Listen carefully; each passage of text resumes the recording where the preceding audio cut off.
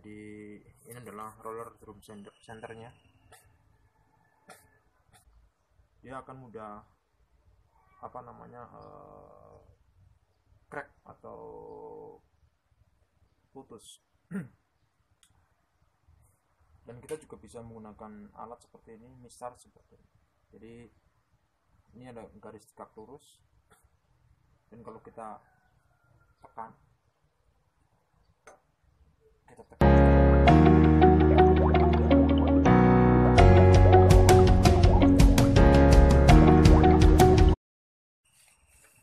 oke baik. Kali ini saya coba jelaskan cara pasang pump dan cara setting pump setting kekencangan untuk pump mesin drum sander. Jadi sesuai dengan draft konsep jadi ini adalah roller drum center centernya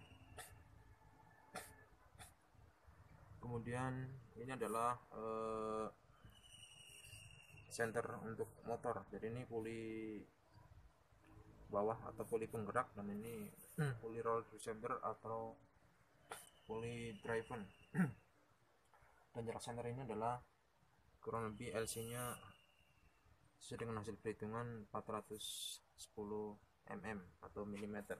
Kita coba cek dulu. Kita coba cek.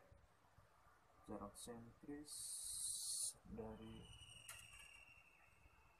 nah ini 410 oke 410 mm oke.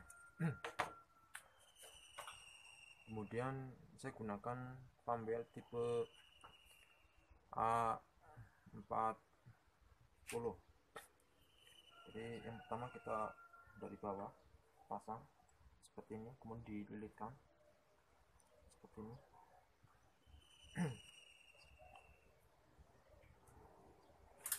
nah, ini jadi untuk memeriksa kekencangan pump belt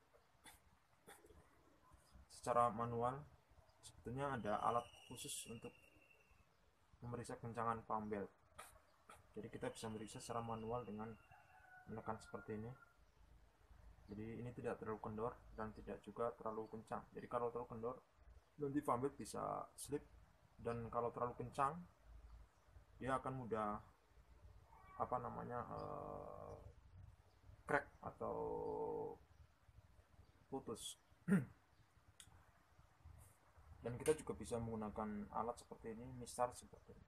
Jadi ini ada garis tegak lurus. Dan kalau kita tekan kita tekan seperti ini.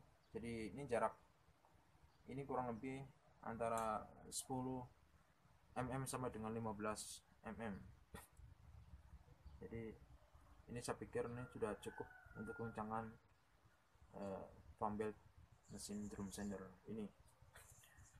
Oke dari saya itu saja dan kita coba lihat. Dia tidak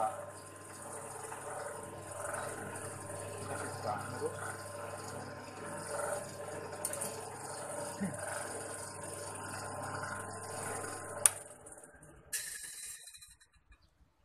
Oke, dari saya itu saja untuk tips cara pasang pambel dan cara setting pambel. Terima kasih.